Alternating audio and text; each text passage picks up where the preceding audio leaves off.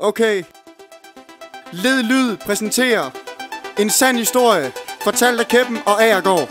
Lørdag aften et meget mærkeligt syn. Et par venner sidder og drikker og skal senere i byen. Snakken går på alt lige fra sportsbrud og damer. Da en af drengens telefon lige pludselig ringer. Det er hans dame som vil have han kommer hjem. For det er sent og hun synes han skal i seng.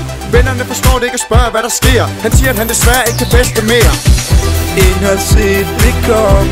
Hans ungdom er om. Han kan ikke gøre noget.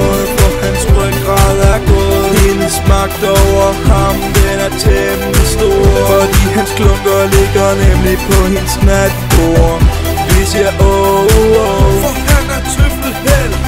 Vi siger oh oh oh oh han som sukkerbedrøvet For at være under tøflen er ikke noget man behøves. Det mener de ikke og er svært ved at forstå At deres ven ikke havde andet valg end at gå. På vej hjem mindes han alle de gamle dage Hvor han selv styrede alt og han vil gerne rejse tilbage. Der er ikke noget at gøre, han gør hvad der bliver sagt Og han har overgivet sig, han er i hendes magt. 10 minutter efter står han hjemme ved hende Og bliver mødt ved synet af en meget vred kvinde Der meget bredt spørger ham hvad fanden han har gang i For han skulle være hjemme sådan cirka kvart i 10 Han siger han ved det godt og det er aldrig mere hænder Og hun forlanger nu at han dropper sine venner. Han nikker modvilligt og siger det skal han nok. Hvornår må denne mand forstå og sige stop?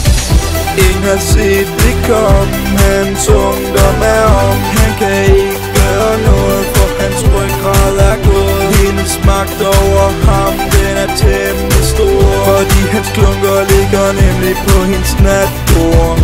Vi siger oh oh For han er tøflet held Vi siger oh oh oh oh Han vågner næste morgen, og han kan ikke mere. For han får straks at vide, at han skal med i IKEA. Han holder sig for øjnene og frygter det værste. En hel dag med ydmygelse fra hans kæreste. Og selvom han hader det, tør han ikke sige fra. Så han følger med ud og ser på badekar. Og han holder hendes taske, mens han venter alene. Og han kan lige våge på at lave en scene. For så ved han, hvad der sker, og det bliver ikke kønt Og han tænker, det at være single må da være skønt. Han tænker tilbage til da de mødte hinanden. Hun var sød og rar, og han var stadig en mand. Og nu kort efter kan han ikke kende sig selv. For han er blevet skadet og døjer stadig med skæld. Og han kigger på sin dame og har at forstå. Hvordan en kvinde så hurtigt kan tage 100 kilo på.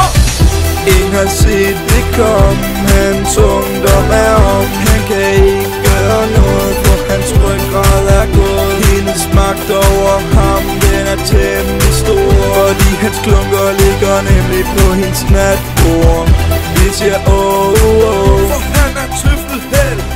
Vi siger oh oh oh oh